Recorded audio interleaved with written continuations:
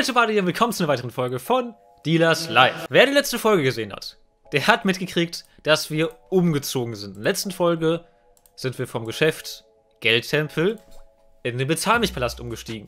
Und ich habe da einen Fehler gemacht.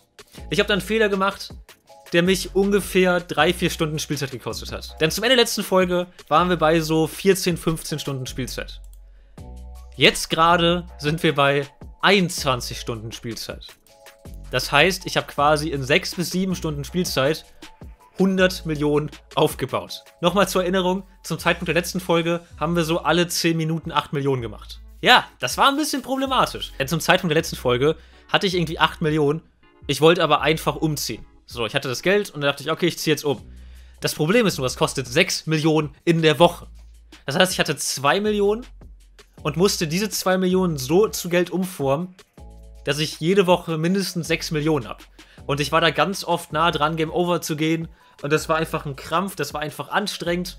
Und ich habe mir wirklich wieder versucht, alles von Null aufzubauen. Das war einfach so belastend. Wir haben nicht so viel Neues, wir haben 100 Millionen. Ich habe äh, einen dritten Restaurateur eingestellt, damit wir halt einfach immer alles reparieren können. Ähm, ich habe jetzt ein bisschen dazugelernt, dass ich auch viele Gegenstände haben will die so 200.000 kosten. Fun Fact, es gibt ein paar neue Gegenstände. Zum Beispiel hier sowas. Oh, da sehen wir sie nochmal. Es gibt ein paar neue Gegenstände. Es gibt auch ein paar neue Kunden jetzt inzwischen. Also da haben wir ein bisschen was Neues, was wir entdecken können. Und ich dachte einfach mal, okay, ich mache mal ein Video und hole euch mal hier auf den aktuellen Stand. Und wir versuchen einfach mal ein bisschen Geld zu machen. Äh, das mit dem Geld machen ist jetzt auch ein bisschen leichter geworden. Das war halt nur wirklich schwer von quasi null aus Geld aufzubauen, weil du hast halt nichts. Du kämpfst halt nur ums Überleben du hast nicht viel Geld, um dir mal was krasses zu holen. Und das ist einfach dann sehr, sehr belastend. In Dealers Left 2 geht es nämlich darum, dass wir Gegenstände kaufen, verkaufen und wir wollen reich und berühmt werden. Reich haben wir schon theoretisch geschafft, aber um berühmt zu werden, müssen wir im Ruhmlevel aufsteigen. Das haben wir jetzt schon soweit gemacht, dass wir Fähigkeiten verbessert haben. Ich kann es kurz einmal zeigen. Da haben wir hier alles aufs Maximum. Und äh, du steigst sonst noch auf, wenn du umziehst. Und das letzte Mal umzuziehen hat 200 Millionen gekostet für den Bezahl mich Palast. Und jetzt gibt es nur noch einen einzigen Ort. Und zwar die Beletage. Und die kostet 15 Millionen der Woche, das ist aber egal. Denn sobald wir da sind, ist das Spiel eh durch. Und das kostet 500 Millionen. Das heißt, ich muss es schaffen, 500 Millionen zu sammeln und dann habe ich das Spiel durchgespielt. Und ja, ich habe dazugelernt, hier dieser Gegenstand, 260.000, hätte ich vorher weggeworfen. Jetzt weiß ich aber, ich kann den für 150.000 kaufen. Ich kann den in Reparatur schicken und den dann für 400, 500 verkaufen.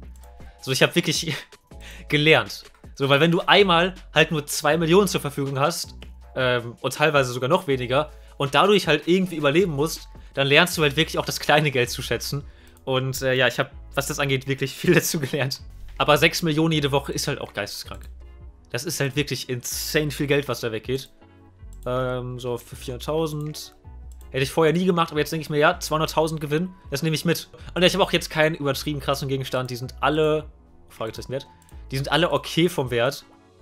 Ähm, aber ist jetzt nichts Geisteskrankes. Also im Grunde ist das das Geisteskranke, was wir haben. Ist im guten Zustand, das repariere ich jetzt auch noch. Und dann ist vielleicht ein Wert von 10 Millionen. Das ist so das Einzige, was wirklich geisteskrank vom Preis ist. Und der Rest ist so okay. Ist in Ordnung. Wir haben aber auch gerade 21 Gegenstände, also wir sind jetzt ziemlich am Limit. Ich mache mal kurz hier was. Äh, ja. Wenn es jetzt für 300.000 nur geht oder so, 200.000 kaum gewinnen, aber egal. Hauptsache weg. Das hier ist übrigens, ich hasse diesen Typen. Ich hasse diesen Typen. Es wird schwerer, einen Profit beim Kauf von Gegenständen zu erzielen. Aber einfacher werden sie zu verkaufen. Ähm, der Typ kommt jetzt alle paar Wochen und bringt einfach schlechte Nachrichten. Das ist jetzt so, ich kann Gegenstände natürlich leicht verkaufen. Ich kann einen hohen Preis sagen, es wird gekauft aber die Gegenstände zu kaufen wird für mich schwerer. Das gibt es halt auch umgekehrt, dass es schwerer ist, Gegenstände zu verkaufen. Und wenn du halt am Hungerzug hängst und du darauf angewiesen bist, Gegenstände zu verkaufen die Woche, ansonsten gehst du Game Over, ist furchtbar. Ist furchtbar, weil der Effekt bleibt auch teilweise zwei Wochen. Mr. Quibble, ich hasse dich. Vor allem, was hast du für einen dicken Bauch? Mach mal was Sport. Gegenstand geschätzter Wert 3 Millionen, ich kann für 7 Millionen. Ohne Witz. Wobei der ist nicht, der ist äh, nicht ungeduldig, ich dachte sogar 8 Millionen. So frech bin ich. 7-4, 7-4, Wurm. 5 Millionen Gewinn, nehme ich. Ja, ähm, ich weiß nicht, ob wir heute eine krasse Zahl erreichen finanziell. Ich werde so eine Stunde aufnehmen und am Ende gucken wir dann, wo wir am Ende des Tages sind. Ähm, das wird, denke ich, okay sein. 150 Millionen, denke ich mal. Ich weiß es nicht. Ich will einfach nur überleben. Das ist alles. Ich, ich, ich will überleben. Ich versuche mal darauf zu achten, dass wenn ein neuer Kunde da ist, dass ich das dann auch anspreche, dass wir mitkriegen, weil die sehen ein bisschen anders aus. Wertsteigerung, okay. Wertsteigerung plus 1,3 Millionen, 9,9 Millionen ist das jetzt wert. Dealers Life 1 habe ich übrigens 10 Stunden gebraucht, um das durchzuspielen. Und bei Dealers Life 2 sind wir jetzt halt wirklich bei 21 Stunden. Und äh, ich denke, wir werden so 24 Stunden brauchen oder so. Es fühlt sich nach ein bisschen zu viel an, muss ich ehrlich gesagt sagen. Aber na gut. Ähm, ich fordere mal 16 Millionen für den Gegenstand. Vielleicht macht er es. Macht er. Macht er. Wir haben hier äh, die Actionfigur für 16 Millionen verkauft. 118 Millionen, let's go.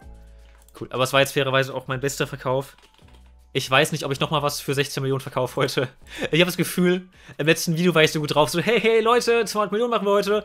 Und heute im Video bin ich so gebrochen. Wie jemand, der den Krieg gesehen hat. So, ich weiß, ah, okay, das Spiel kann brutal und anstrengend sein. Und ich habe die Schattenseiten gesehen. Ich habe die Schattenseiten gesehen. Die Existenzängste. Weil wenn ich Game Over gehe, dann müsste ich ja nochmal neu anfangen. Und das waren ja dann auch nochmal 15 Stunden Spielzeit, die ich mir nochmal neu aufbauen musste. Und äh, ist auch kein Spaß, nochmal von vorne anzufangen.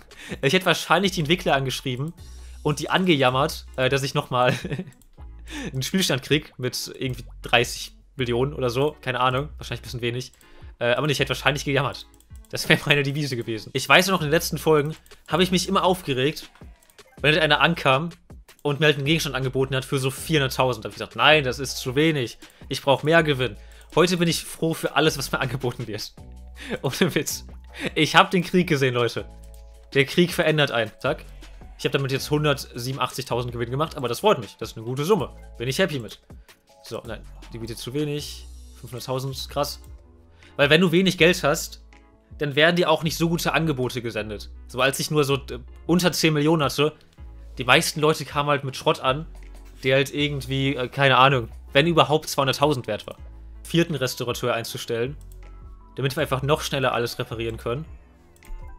Weil wir haben ja gerade echt ein Überangebot an Gegenständen. Oh Gott. Ah, 2 Millionen, let's go, nice. Und auch mit Fälschungen kaufen und so, habe ich auch hinter mir. Ich will wieder ehrlich sein. Mit ehrlicher Arbeit hier reich werden.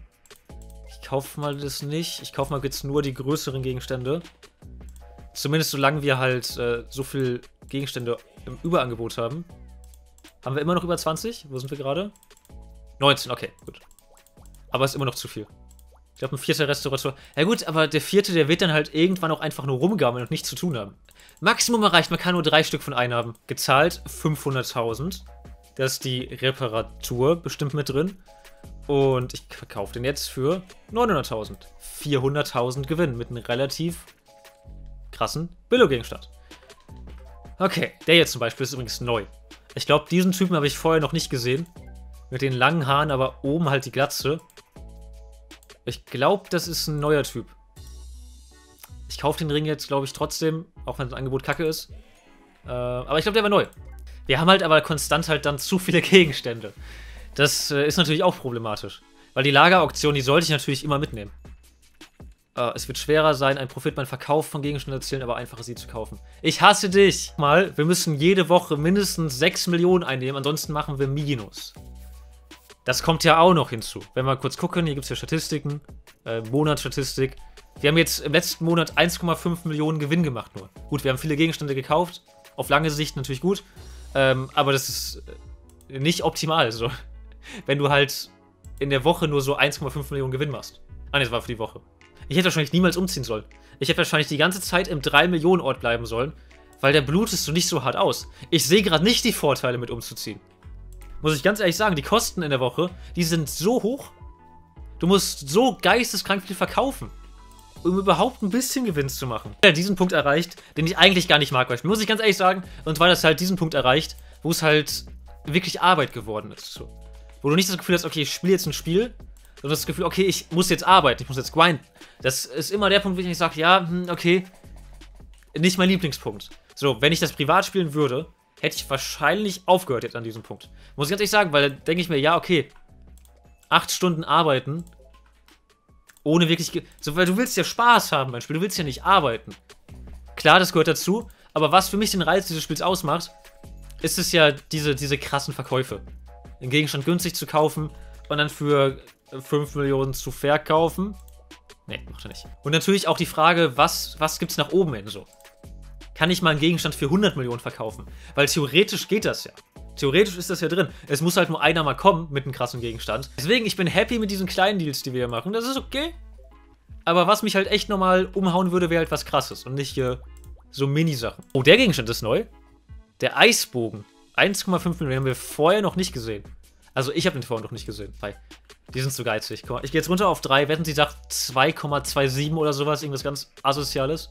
2,45. Nein, gib mir 3 Millionen mindestens. Nein, gib mir 3, 2, was ist für ein Witzangebot? Hau ab! Wir kaufen Gegenstände günstig. Wir schicken in die Reparatur. Verkaufen die. Jetzt verkaufen wir die nicht für eine Summe, wo ich sage, boah, ist das viel Geld. Sondern wir verkaufen die halt für eine anständige Summe. Und dann kommt der nächste Tag. Dann kommt der nächste Tag. Dann kommt der nächste Tag. Dann kommt noch ein Tag. Also es ist einfach nur noch Arbeit. Versteht mich nicht falsch. Als Teil des Projektes will ich natürlich trotzdem das Ende sehen. Wir werden auch das Ende erreichen. Ich beschwere mich halt nur, damit ihr die Hürden mitkriegt, die man hier überwinden muss. Sagen, es macht süchtig. Ich saß wirklich äh, ganz oft dran, wo ich gesagt okay, du machst jetzt noch einen Tag und dann ist aber Schluss. So, dann war der Tag aber um. Hat man aber doch irgendwie noch einen Gegenstand gekauft, der interessant aussah. Und hat man wieder gesagt, ja, okay, noch einen Tag, aber dann ist Schluss. Und dann war der Tag wieder rum und du hast dann wieder einen interessanten Gegenstand gehabt. Und äh, kann sein, dass ich süchtig bin nach diesem Spiel. Ich hasse das Grinden, also das wir jetzt gerade machen, dieses, diese ganzen kleinen Gegenstände kaufen. Ich hasse das, aber der Gedanke, einen teureren Gegenstand zu kaufen, motiviert mich anscheinend genug. Ach, die ist so geizig, da machen wir nichts. Motiviert mich anscheinend genug, doch am Ball zu bleiben. Und ich bin hier in so einer Suchtspirale gefangen. Andere YouTuber sind nach Glücksspiel süchtig. Ich bin süchtig nach Didas Life 2. So, das, das ist meine Sucht. Oder nach FIFA-Packs sind viele süchtig, ne? Come on, do it, do it, do it. Ja, let's go. 800.000 Gewinn mit einem Gegenstand, für den ich 300.000 ausgegeben habe. Deswegen sind diese kleinen Gegenstände halt krass. Das wäre jetzt wiederum ein kleiner Gegenstand, der mich aber sehr gefreut hat, weil der Gewinn war halt sehr groß mit 800.000. Ach ja, der Gegenstand hier ist übrigens auch neu. Habe ich vorher, glaube ich, auch noch nicht gesehen. Ganz ehrlich, wie ich das Spiel besser machen würde, für diesen Zeitpunkt. Wenn du 6 Millionen in der Woche ausgibst, da müssen halt auch Leute kommen, die das rechtfertigen in gewisser Form. Weil, wie gesagt, äh, ich habe das Gefühl, seit den letzten 10 Spielstunden, ich kriege keine besseren Gegenstände. Mir wird nichts krasseres angeboten. 6 Millionen, sehr gut.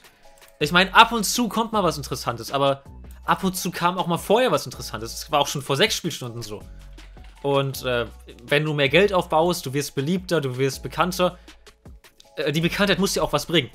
Die 6 Millionen, die du ausgibst in der Woche, das muss dir auch was bringen. 1000 gekauft für 160.000 und ist noch reparierbar. Das ist stark, das muss ich mitnehmen, es tut mir leid. Es geht nicht anders. Jetzt sammeln wir zwar wieder Gegenstände ohne Ende. Aber was soll ich tun? Ein gutes Angebot, da kann ich nicht Nein sagen. Ich bin wie so ein Sparfuchs. Ich mag übrigens das Wort Sparfuchs. Ich weiß nicht, warum ein Fuchs als Image äh, einfach ein Spar Sparmensch ist. Ein Spartier. Weil eigentlich sind es doch andere Tiere, die eher was sparen. So ein Fuchs habe ich jetzt nicht als Sparer im Kopf, der irgendwie, wenn er einen Hasen tötet, den irgendwie nochmal mitnimmt, dann nochmal ins Tiefkühlfach legt und so. Das sehe ich eher andere Tiere. Und so ein Fuchs macht, er macht es anscheinend, sonst wäre ja nicht der Sparfuchs, aber sehe ich nicht. Sorry, Fuchs. Sorry an alle Füchse, die gerade zugucken. So 200.000. Ja, sie macht's nicht. Ah. Okay, wir sind jetzt am siebten Tag, der letzte Tag dieses Videos. Oh, 500.000. Let's go, nehmen wir mit.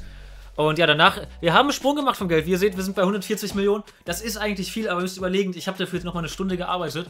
Und um dahin zu kommen, dass ich in der Stunde so 30, 40 Millionen mache, wie gesagt, ich musste drei, vier Stunden am Stück Dreck fressen, um dahin zu kommen. Und das verkaufen wir nicht. Das war's. Wieder 6 Millionen weg. Weggeblutet. Aber gut, dann würde ich sagen, Leute, ähm, ihr merkt, es ist Arbeit, ihr merkt, das ist auch viel mit Frust verbunden. Ähm, aber ich werde das jetzt durchziehen. Ähm, eine Reihe so kurz vor Ende aufzuhören, weil es einfach zu frustrierend ist, machen wir nicht. Wir ziehen es jetzt durch. Ähm, und dann würde ich aber sagen, Leute, sehen wir uns dann. Bis zum nächsten Mal. Im nächsten Video werden wir es durchspielen. Das wird dann nochmal für mich 5 Stunden Spielzeit dauern. Oder halt ein geisteskranker Gegenstand. Das kann ja auch sein. Aber gut, dann sehen wir uns dann bis zum nächsten Mal. Vielen Dank fürs Zusehen. Falls ihr neu seid, könnt ihr mal sehr gerne ein Abo lassen. Dann sehen wir uns. Bis dahin und ciao.